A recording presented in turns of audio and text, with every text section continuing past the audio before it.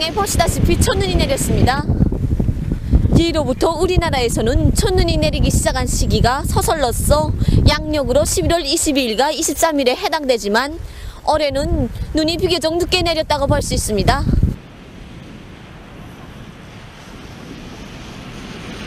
흔히 사람들은 해마다 이렇게 첫눈이 오면 그 서박한 흰눈에 자기의 마음을 비추어 보면 합니다.